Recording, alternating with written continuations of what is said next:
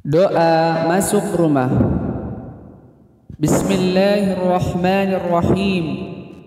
Allahumma inni as'aluka khairal mawliji wa khairal makhraji. Bismillahi walajna wa bismillahi kharajna wa ala Allahi rabbina tawakkalna.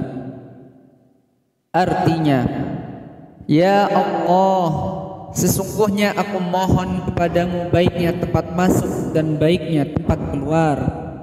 Dengan menyebut nama Allah kami masuk dan dengan menyebut nama Allah kami keluar. Dan kepada Allah Tuhan kami kami bertawakal.